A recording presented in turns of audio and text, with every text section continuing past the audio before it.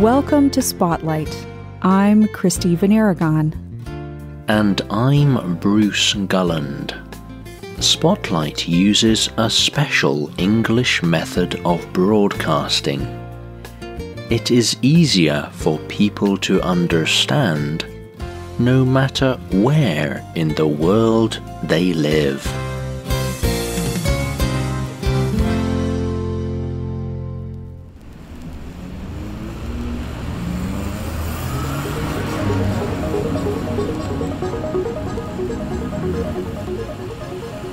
Busy city street. Cars and trucks pass quickly. A few people wait to cross. But then all traffic stops. Suddenly, hundreds of people riding two wheeled bicycles fill the street. They are all riding together. After many minutes, the bicycles have all passed by. The traffic starts again. What just happened? This was a critical mass. A critical mass is any large group of people riding bicycles together for one purpose. In China, the idea of a critical mass started for safety. Bicycle riders would stop at street crossings. They would wait until more bicycle riders stopped too. Soon, a large number of bicycle riders gathered. Then they all crossed the street together. They believed this kept them safe. It is difficult for one bicycle rider to cross a busy street alone. But it is easy for car drivers to see a large group of bicycle riders. Today, there are critical mass bicycle rides all over the world. Sometimes they are a kind of protest, but sometimes they are just to show the importance of bicycles. Bicycles are important for transportation around the world. But how did they become so important? Today's spotlight is on the history of the bicycle.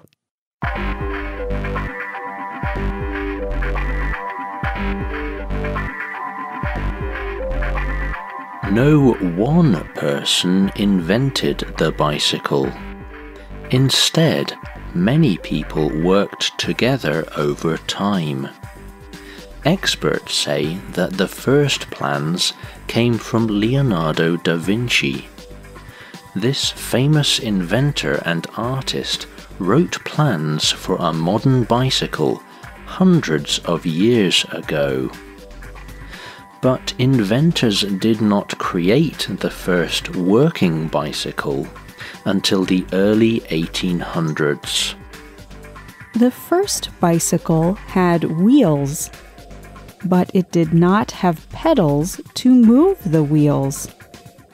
The rider pushed the bicycle forward by pushing his feet against the ground. People called these bicycles push bikes. In the 1850s and 60s, French inventors changed the design of the bicycle. They made the front wheel larger and they put pedals on it. Riders used their feet on the pedals to push the bicycle forward. They made this bicycle with a heavy steel frame. And they made the wheels out of wood and iron. People called this bicycle the Bone Shaker. On the stone streets of that time, the bicycle shook the rider very hard. It was a painful ride. Over the next 10 years, inventors changed the design of the bicycle even more. They made the front wheel even larger. This increased its speed. They also added rubber tires on the wheels. People called this bicycle the ordinary. But these kinds of bicycles were difficult to ride. They were difficult to push forward. And it was difficult to change directions while riding.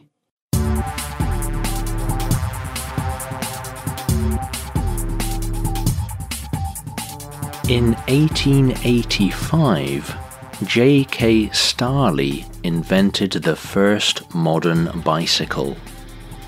It looked very similar to the bicycles people ride today.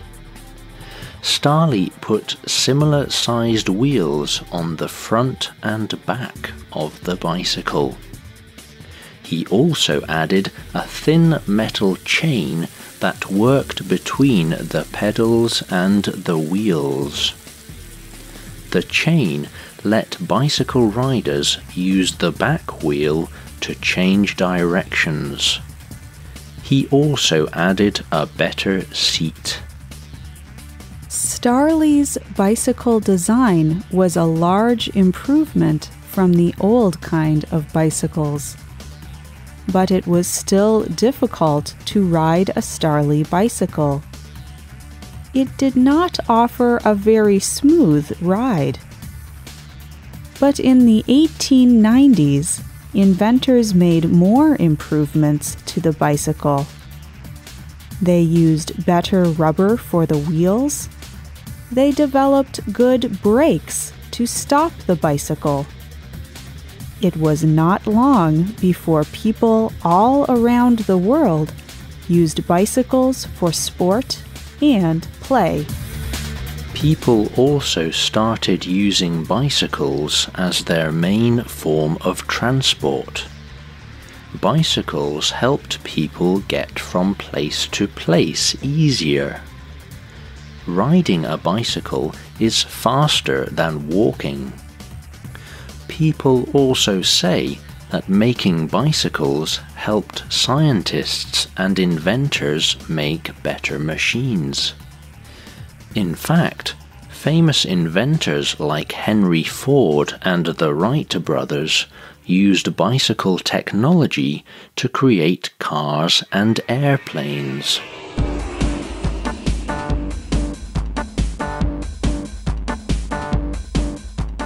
Bicycles also had large effects on societies around the world. For example, the bicycle changed life for women in many ways. Before bicycles were invented, in Western countries, women usually wore large, close fitting dresses. But when women started riding bicycles, they started wearing different clothes. They wore trousers like men usually wear. They also stopped wearing such close fitting shirts or tops. Bicycles also made it possible for women to get around more. Some experts say that bicycles made women feel more independent. They made more women desire and demand freedom and respect. Bicycles also changed the lives of people in cities. They helped reduce crowding in cities. People could live outside the city. Then they could ride bicycles into the city to work. Bicycles also made it easier for men and women to meet and marry.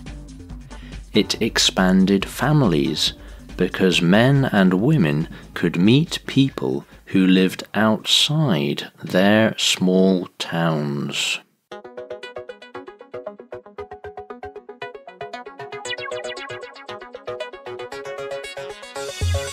Many things have changed since the first bicycle. More people use cars, buses, and trucks for transport now. But inventors have made great improvements to the bicycle. Today's bicycles are easy to ride. They are much more comfortable. And they can go very fast bicycles continue to be a popular form of transportation in many parts of the world. In fact, in many places, bicycles are still the main form of transportation. There are many good reasons to ride a bicycle. Bicycles do not damage the environment like cars do. Riding bicycles is good for your health. Also, riding a bicycle costs less money than driving a car. You do not need gas to ride a bicycle. And bicycles cost less money to fix. Imagine what your city would look like if everyone used a bicycle to get around instead of a car or bus. There are some cities in the world that do look like this. Many cities in China and the Netherlands contain more bicycles than cars. But in many cities around the world, people do not respect bicycle riders. In fact, in many modern cities, it can be very dangerous to ride a bicycle. Many people die every year in bicycle and car accidents. This is one reason why people ride their bicycles in a critical mass. They want people to recognize bicycle riders. They want people to learn to watch for them on the road. They want people to understand that bicycles are still an important form of transportation today.